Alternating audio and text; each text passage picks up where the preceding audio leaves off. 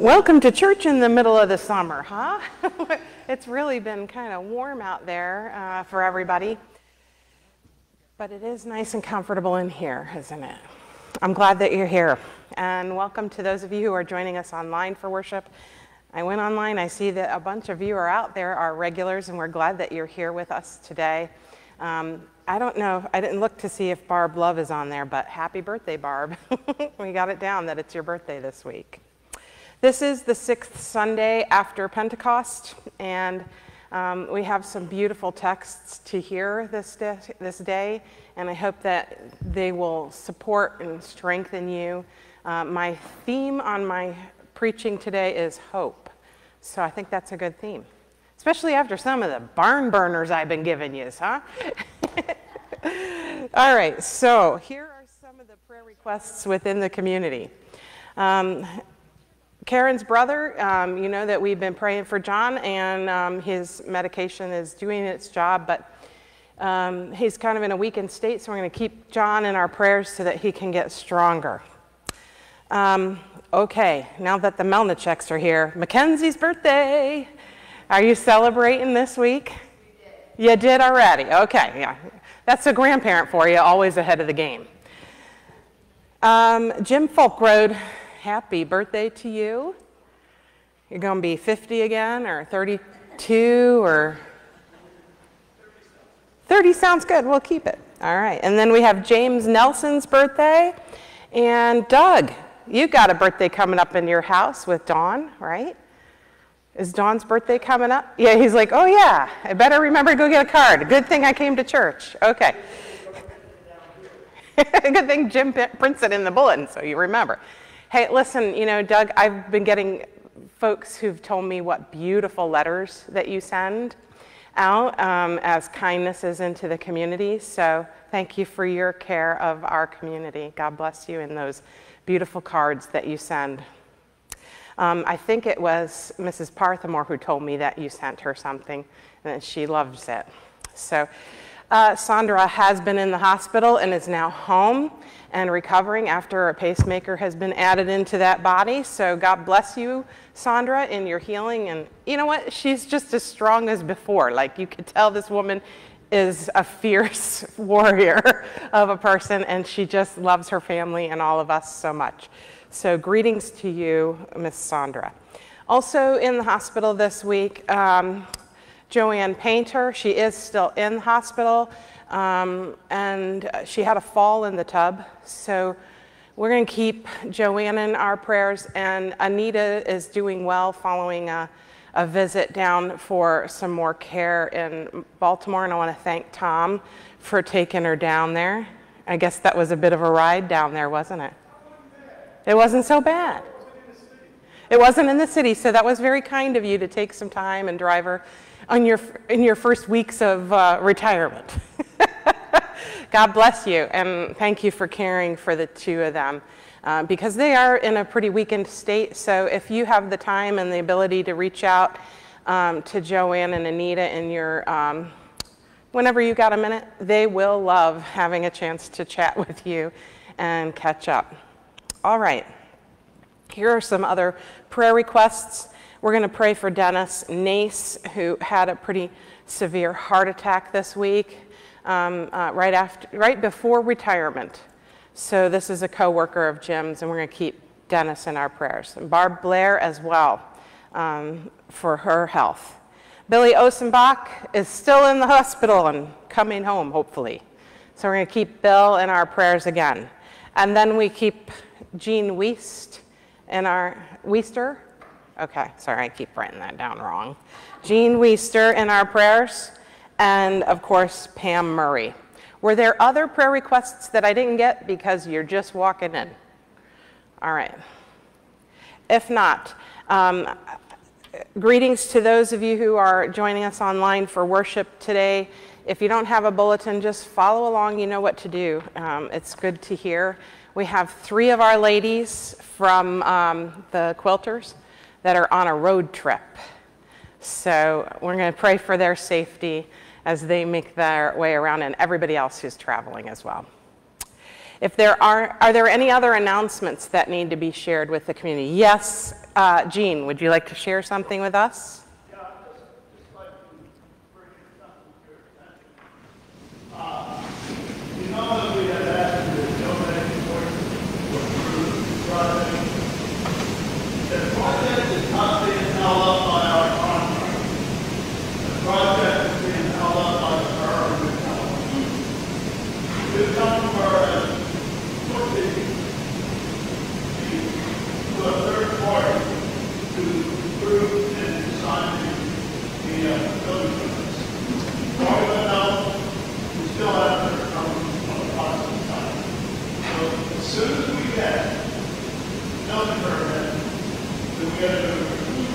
So we're waiting on the building permit, and that's from a third party outside of the borough that they've kind of employed to look into that. Okay. Yes, sir. This is the same kind of message. Joe said that they got the permit to do tomorrow. So probably for the next two weeks, part of that handicap parking out here now, you can use it by a dumpster so you can put your shingles in here, so you'll be able to park there for the next two weeks. Okay. Handicap parking will be kept from being used because of the dumpster from uh, the roof debris. Thank you. Thanks for that announcement so we know. And we should probably be watching for anything coming down from up there if we're around the building. You just never know. All right. Thank you for those announcements. And I do know that folks have been donating to the roof fund Um, and we're grateful for everybody who would like to do that. If you would like to make a special donation for the roof fund, there are green envelopes that you can just write roof fund and um, put your offering in addition for that. Okay. Are those all the announcements? Great. Thank you so much for, um, for sharing those. Let us stand together as we come before God, making the sign of the cross and preparing our hearts for worship.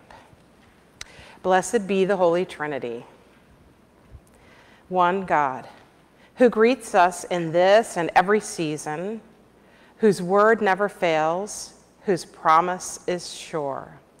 Amen. We'll take a moment. You may kneel or stand or be seated as you're most comfortable as you speak to God about those things that are heaviest and weighing upon your heart.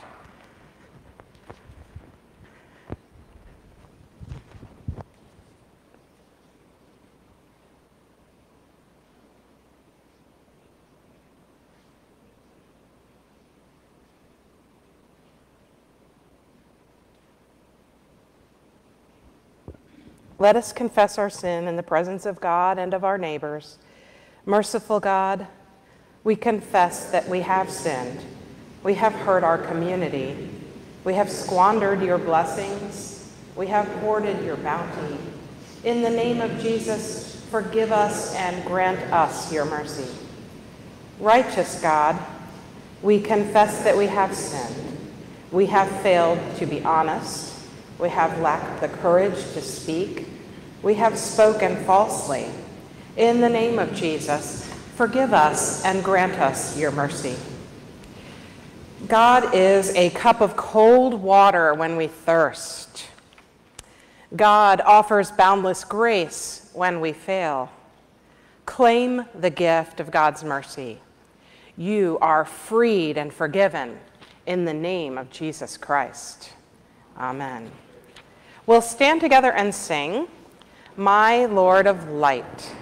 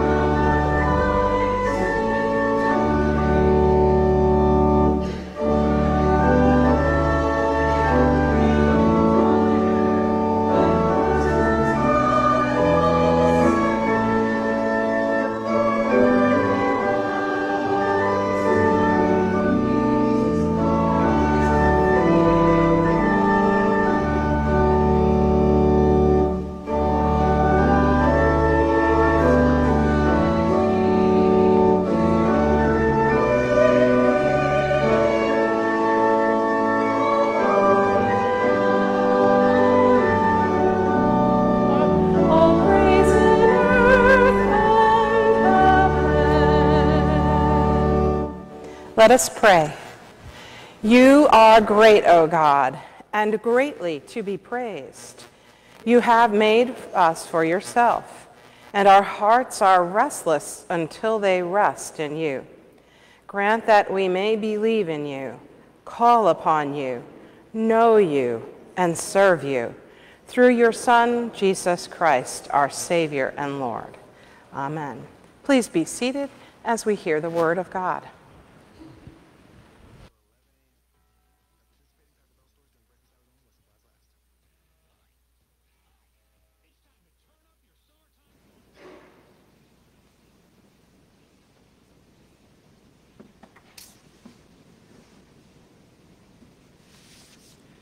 First reading is from Zechariah, ninth chapter. Rejoice greatly, O daughter Zion. Shout aloud, O daughter Jerusalem. Lo, your king comes to you. Triumphant and victorious is he, humble and riding on a donkey, on a colt, the foal of a donkey. He will cut off the chariot from Ephraim, and the war horse from Jerusalem, and the battle bow shall be cut off, and he shall command peace to the nations. His dominion shall be from sea to sea and from the river to the ends of the earth. As for you also, because of the blood of my covenant with you, I will set your prisoners free from the waterless pit. Return to your stronghold, O prisoners of hope. Today I declare that I will restore to you double. The word of the Lord.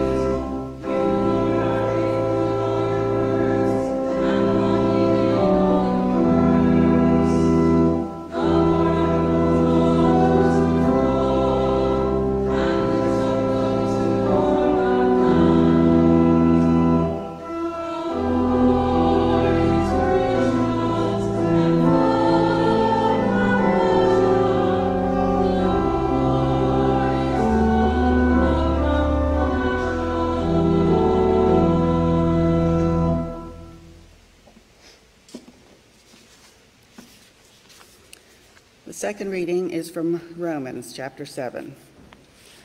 I do not understand my own actions, for I do not do what I want, but I do the very thing I hate. Now, if I do what I do not want, I agree that the law is good. But in fact, it is no longer I that do it, but sin that dwells within me. For I know that nothing good dwells within me, that is, in my flesh. I can will what is right, but I cannot do it. For I, not do, I do not do the good I want, but the evil I do not want is what I do. Now, if I do what I do not want, it is no longer I that do it, but sin that dwells within me. So I find it to be a law that when I want to do what is good, evil lies close at hand. For I delight in the law of God in my inmost self. But I see in my members another law at war with the law of my mind, making me captive to the law of sin that dwells in my members. Wretched man that I am, who will rescue me from this body of death?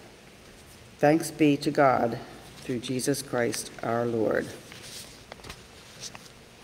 The word of the Lord. Thanks.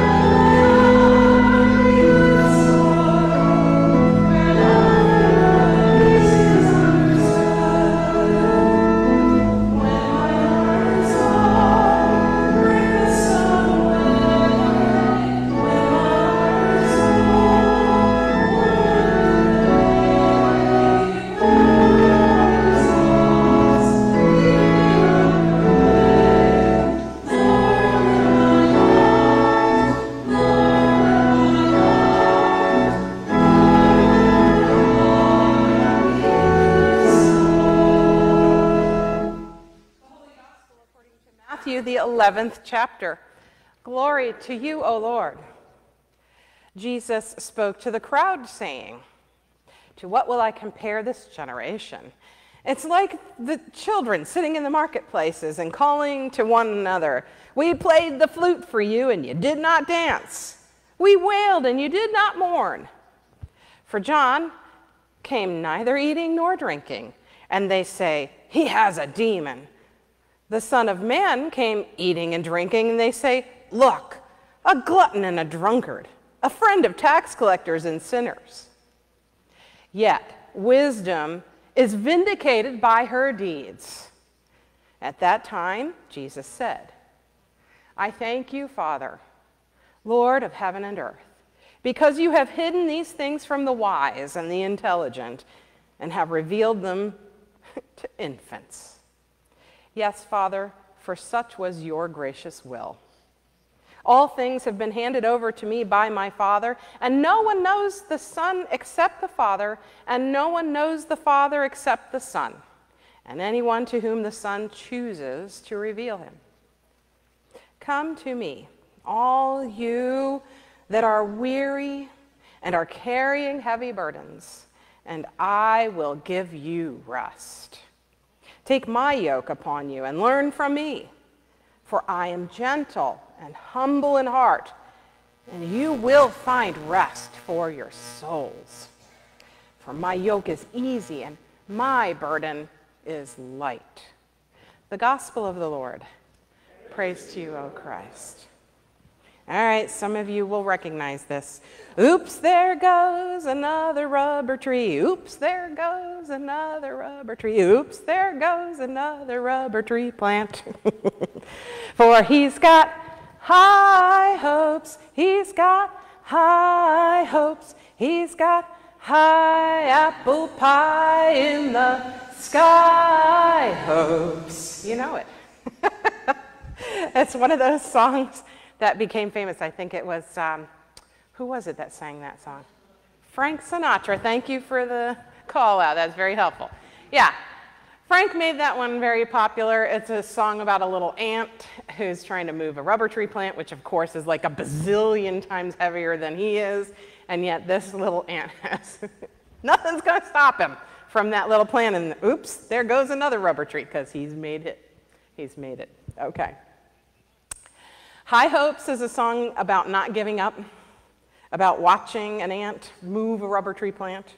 I remember hearing this song as a young person and being encouraged not to give up, even in the, in the midst of adversity when things look impossible. The world can get us down, really down.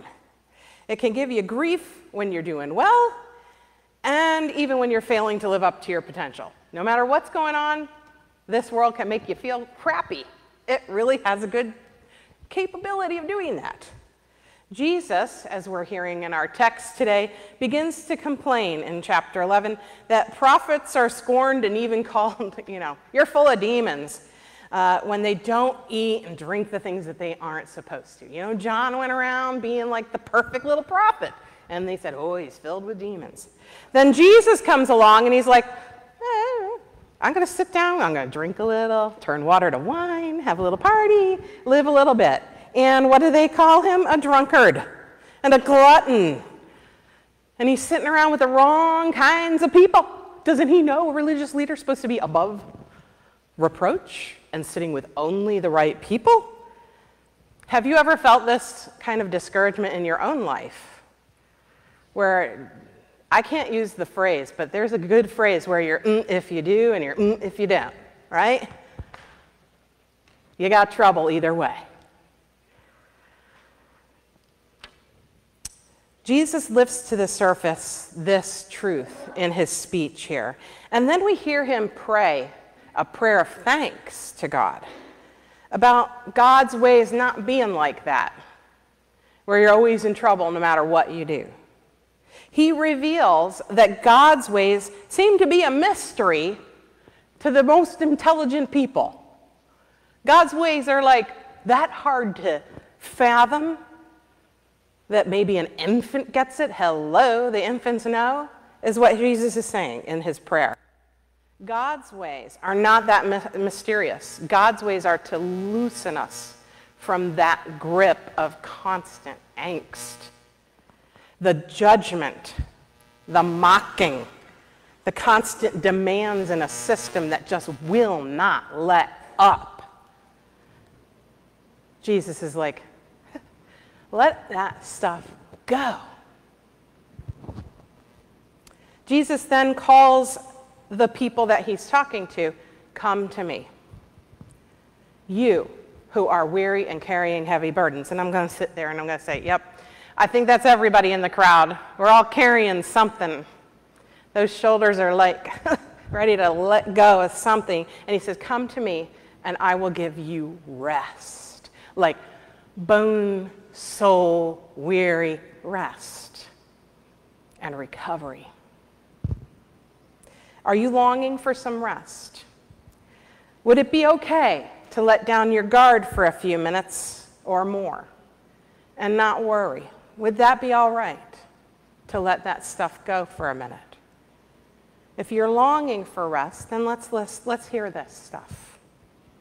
At the waters of baptism, we are called into refreshment. Every time you are somewhere near water in the coming days, think about this refreshment that Jesus offers us. It's been a hot summer. I mean, that was the first opening lines here from me this morning, as I remember just being outside, even just running errands. You walk in and out and go like, whew, I've been in a bath. The cool waters of baptism are calling us to come and be cooled down internally, to remember that we can let go of the as we put it these days, the hot mess that we find ourselves in, where we live much of the time. As you touch water next, recall the internal refreshment that God offers. Remember that God's ways are to unbind us from that knot that's in our guts and the pain that says that there's no way out of the mess that I'm in. God promises to bear us up in those places and to cool our hearts and our minds down in the frenzy and the fear of whatever situation that makes us wonder what this life is all about. I see you sitting in the hospital.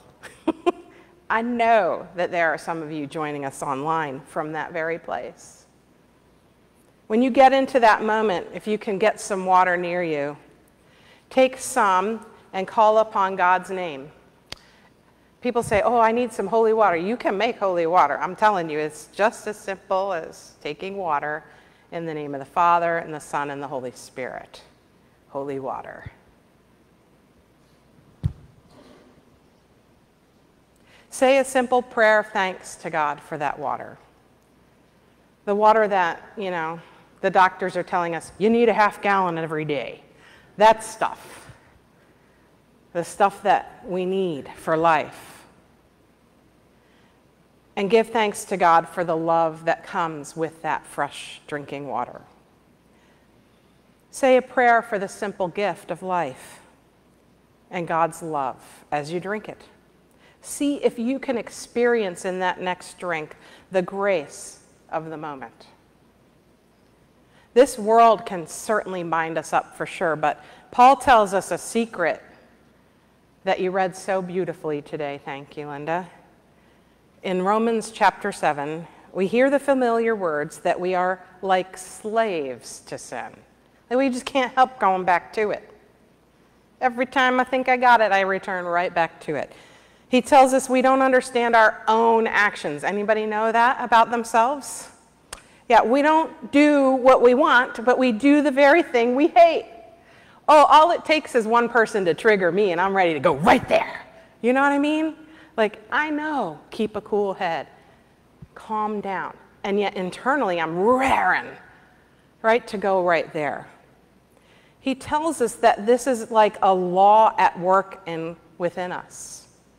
I can will what is right, but I cannot do it, says Paul. And again, I find this is such right on the mark in so many aspects. I can will myself to do the right things, but when I'm triggered, I fall right back into the old traps. I'm human, says Paul, and that's true for you too. I mean, any of you not human? All right.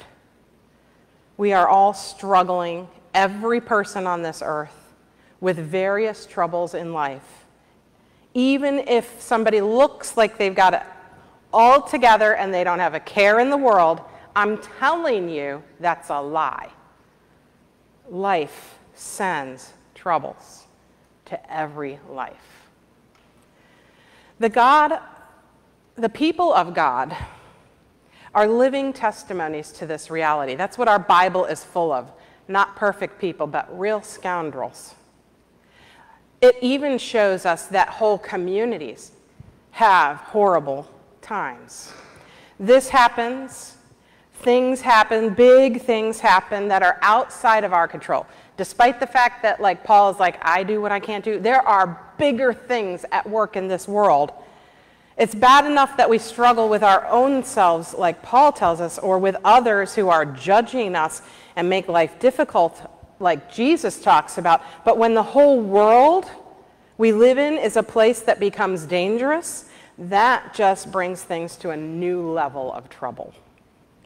In ancient times, large groups of people would swallow up smaller groups of people smaller nations that could not defend themselves enough to remain free. This was true of Jesus' family line, also known as the Jews. Before Jesus was born, the Jewish tribes lived closely together. Of course, they squabbled and disagreed. That's what people do. But when others came, a large force called the Assyrians, followed by the next wave of a force called the Babylonians, when they came and just slaughtered people, families, and stole children and women and occupied the lands, that's real shock. And then slavery as well. There were real fears that God had abandoned them. And after the return after they came back from all those Assyrian and Babylonians, back to the lands where Jesus lived and was born into, the prophet Isaiah, or Zechariah, excuse me, pronounces the words that we heard from you today out of God's mouth. Return to your stronghold, says God. O prisoners of hope. Today I declare that I will restore to you double. Oh, what a mighty God. Come and find rest, you who have high hope. You prisoners of hope. You wouldn't let it go, you wouldn't let me go. You're like the ant with a rubber tree plant. You're prisoners of hope. You've high hope, high apple pie in the sky hope. There's nothing to draw you from that freedom to hope in the midst of the worst, darkest places, says, Zechariah. Do you know what Zechariah's name means? God remembers. God remembers. What a name for a time when a people feel forgotten and lost, returning from a time of disaster into a time of restoration. God remembers Zechariah. Jesus ultimately reveals the restoration in his own body. At the cross, he experienced the same kind of moment that his people had experienced long before he was born a time of desolation, a time of abandonment and excruciating loss and pain and death. But like the ant, nothing would stop him from doing the impossible. He raises from the dead and promises that this is for us too. You think it's impossible, and yet there is life after death. Your hope in God is not in vain, for God remembers. Zechariah. God understands what we're going through internally externally in a world. And Jesus shows up to confirm that God remembers. And then he calls us, come. Just skip out on all them megalomaniacs who think they know how to run this frickin' world. The wise ones that you keep turning to. Come like an infant to me. What does an infant do but trust? They can't do nothing for themselves except trust. He says, Come to me, you infants who are longing for some just water, food to eat, and rest. And I will give you rest. I will make you refreshed. If you're out there, you people who are at the beach today, step into that beautiful water. For those of you who are getting to go back to a pool or somewhere refreshing today, step in that water. And if you're just like me, grab a glass of water out of the tap. Hold it and recall God's tremendous gift, even in the most common moments of the day. God's going with you. God remembers you and calls you to rest. Let us pray. Holy God, we thank you for the most common elements like water that remind us that you are ever with us, ever present. Like our bodies are what, 70% water or something? So you're like always with us like that commonly, uh, as water is within our bodies. We can't live without it. We can't live without you either. And we're grateful for your constant reminder to come and find rest in you, to lay down all those things that we internally fight or that the world continues to pour upon us. Let us hand those things over to you at the communion rail. Let's just say we'll lay them there at the altar and collect up from you the things that we need for the day bread and wine, water, and blessing, and a reminder that you remember us. In a world that just has us as numbers, you know how many hairs are on our head. We thank you, Lord, for knowing us and loving us that much. Help us to be kind and gentle with others as you are with us. In your holy name we pray. Amen. So we have a song. It is called Earth is Full of Wit and Wisdom.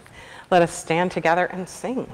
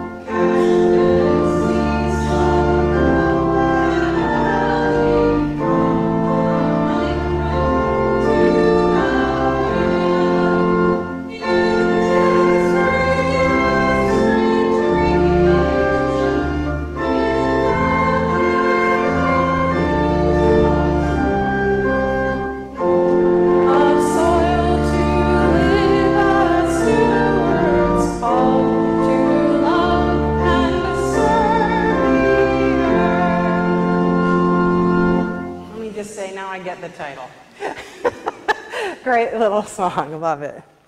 Let us confess our faith using the words of the Apostles' Creed. I believe in God, the Father Almighty, creator of heaven and earth. I believe in Jesus Christ, God's only Son, our Lord, who was conceived by the Holy Spirit, born of the Virgin Mary, suffered under Pontius Pilate, was crucified, died, and was buried. He descended to the dead. On the third day, he rose again. He ascended into heaven. He is seated at the right hand of the Father, and he will come to judge the living and the dead. I believe in the Holy Spirit, the Holy Catholic Church, the communion of saints, the forgiveness of sins, the resurrection of the body, and the life everlasting. Amen. Trusting in God's abundant mercy, let us offer our prayers for a world in need. God of the covenant, you call ministers to proclaim your gospel of grace throughout the world. Inspire pastors, deacons, church musicians, and all ministers of your word as they carry out your work. Hear us, O God. Your mercy is great. God of all creation, you reveal your goodness through all that you have made rivers and seas, plants and animals, endangered species. Prosper the work of conservation organizations, botanical gardens, zoos, and wildlife sanctuaries. Hear us, O God. Your mercy is great. God of the nations, you desire that all peoples of the world live in peace. Guide government leaders at all levels national, state and province, and local to work for justice, mercy, and reconciliation. Hear us, O God. Your mercy is great. God of compassion, you bring healing to those who are sick, consolation to those who are grieving, and well being to those who are distraught. Send skilled caregivers to all in need for those whom we pray today especially. We include Peggy Warmkessel, Anita and Joanne Painter, Hannah, Karen Kaler, Woody Isher, Trudy Stum, Loie Parker, Steve Knock, Judy Hunt, Edsel, Debbie Aldridge, the Holden family, Anna, Kathy Miller, Marty Pano, Jenny's mom and her sister, Marty and Paul Sheffer, Ken, Judy Smith and her family, Bob and Maggie Fogelman, Gladys, Sonia, Jeff and Jody Rice, Marie, Lucy, John, Dennis, Barb, Billy Osenbach, Jean Weister, Pam Murray, and we lift before you, Lord God, in gratitude for these lives in our community as they celebrate a birthday. For Mackenzie and Barb Love, for Jim Folkrode and James Nelson, and Dawn Morris, and all those who are celebrating anniversaries or other events that are so important to us. We also lift before you those who are serving in the military Make your presence known among all who suffer. Hear us, O God. Your mercy is great. God of rejoicing, you've brought us together this day for worship around the word and sacrament. Encourage children in their learning and growing, and watch over those who are absent today. Lead us all to places of renewal and refreshment. Hear us, O God. Your mercy is great. God of all faithfulness, through the witness of the faithful departed, you reveal your love in action. Embolden us by their example to build up the beloved community in all the contexts we encounter. Hear us, O God. Your mercy is great. Receive our prayers and answer us, O God, in the name of Jesus Christ. Amen. The peace of Christ be with you always. Let's share that peace with one another. Those of you who are online today, please do say, Peace be with you. I'm so glad to see you're here today. I see you. I know that you're out there. God bless you.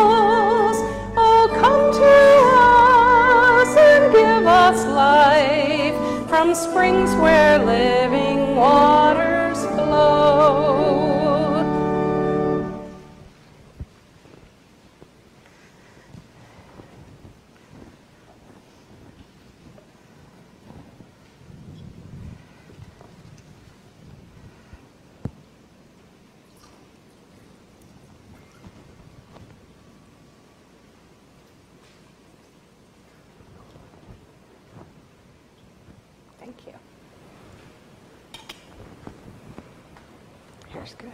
Thank you. The Lord be with you. Lift up your hearts. Let us give thanks to the Lord our God. It is right to give our thanks and praise.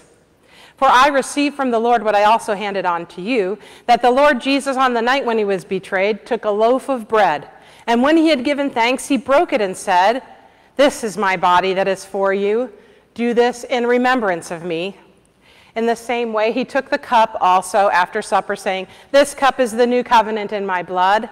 Do this as often as you drink it in remembrance of me. For as often as you eat this bread and drink this cup, you proclaim the Lord's death until he comes. Lord, remember us in your kingdom and teach us to boldly pray. Our Father, who art in heaven, hallowed be thy name. Thy kingdom come, thy will be done, on earth as it is in heaven. Give us this day our daily bread, and forgive us our trespasses, as we forgive those who trespass against us. And lead us not into temptation, but deliver us from evil. For thine is the kingdom, and the power, and the glory, forever and ever. Amen. All people are called to Christ's table. Come, eat what is good.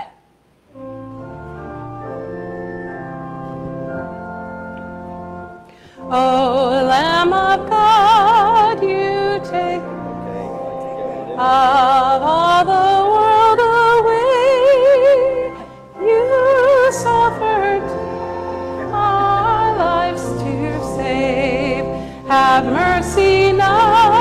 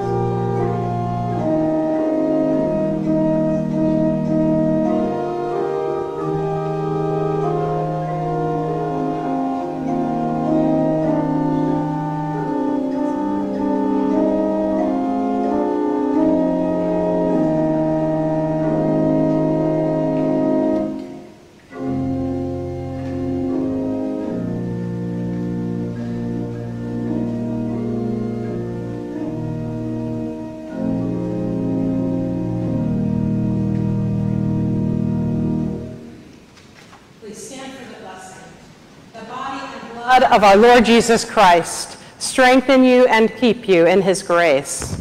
Amen. We thank you, generous God, for the refreshment we have received at your banquet table. Send us now to spread your generosity into all the world through the one who is our dearest treasure, Jesus Christ, our Savior and Lord. The God who calls across the cosmos and speaks in the smallest seed, bless and keep and sustain you now and to the end of the age. Amen.